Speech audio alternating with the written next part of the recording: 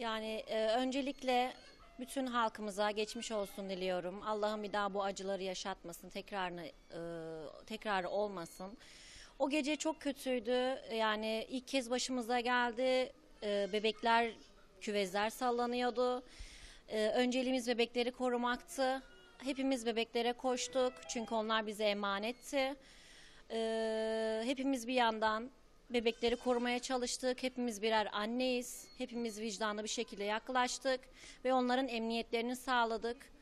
Ee, yeni doğan hemşiresi olmak bunu gerektiriyor. Ee, Allah'ım bir daha yaşatmasın inşallah.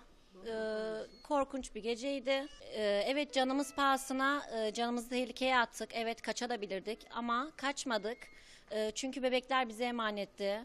Ee, hepsinin annesi babası bize emanet etmişti. Ee, gidemezdik, kaçamazdık. Onları korumak zorundaydık. Onlara bakmak zorundaydık. On, e, canımız pahasına onların başında bekledik.